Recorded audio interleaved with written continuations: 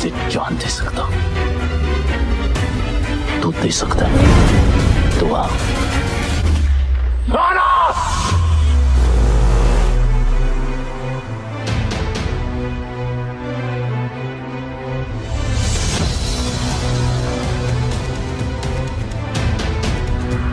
आज इंतज़ार और तू दोनों खत्म होंगे। अजय ने क्या कहा और विक्रम के डायरेक्टर ने क्या कहा? Hello guys welcome back to another video of Bollygrad studio 2019 में फ़िल्म रिलीज़ हुई थी, जिसका नाम था कैथी जिसे डायरेक्ट किया था लोकेश कनागराज ने। ये एक तमिल फ़िल्म है, लेकिन हालाँकि कैथी अपने भाई सूर्य की तरह ज़्यादा फ़ेमस नहीं है, इसलिए उनकी फ़िल्म को बहुत ज़्यादा व्यूज़ नहीं मिले।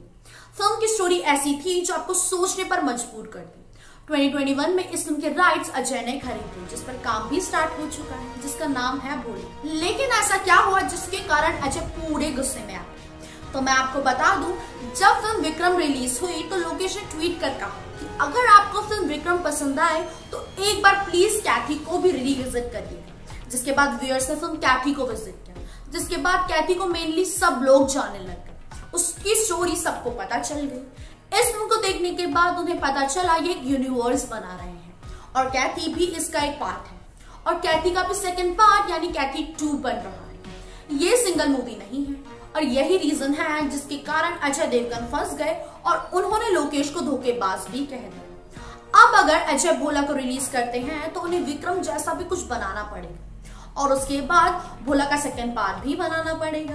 और जब पहले YouTube पे को देख ही लिया है तो उसकी कहानी सबको ही पता है। तो कोई थिएटर में देखने क्यों ही जाएगा? ऐसे ही हुआ था जर्सी के साथ, जिसके कारण शाहिद की फ़िल्म जर्सी फ्लॉप साबित हुई।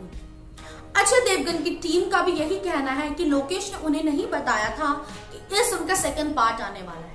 अब देखना यह है, अजय इस फ़िल्म के कितना काम आगे बढ़ाते हैं, या इस फ़िल्म को बिल्कुल साइड कर देते हैं। फ़िलहाल अगर अजय की अपकमिंग फ़िल्म दिलवाले टू की बात करें तो आपको बता दें, बहुत टाइम से इस बात पर चर्चा चल रही थी, फ़िल्म में लीड एक्ट्रेस का रोल कौन करेंगे जिसपे अब सब विराम लग चुके हैं। जब ये न्यूज़ सामने आई कि फ़िल्म में सारा अली खान लीड एक्ट्रेस के रोल में नज़र आने वाले हैं, जिन्होंने फ़िल्म केदारनाथ से बॉलीवुड में अपना कदम रखे थे।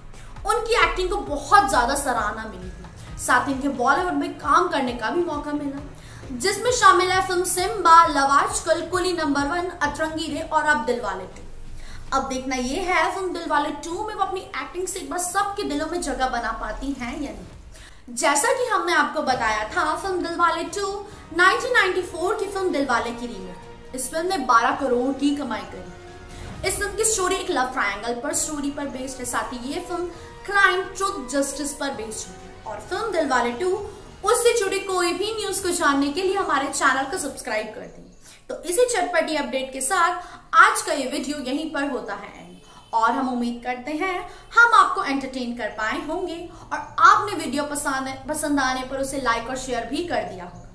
आप हमें कमेंट सेक्शन में ज़रूर बताइए आप कितने एक्साइटेड हैं फ़िल्म दिलवाले टू के लिए। और साथ ही इस जोड़ी को पहली बार बड़ी स्क्रीन पर देखने के लिए। तब तक के लिए हँसते रहिए, मुस्कुराते रहिए। और आज की ये हमारी स्क्रिप्ट लिखी है ज्योति ने। धन्यवाद।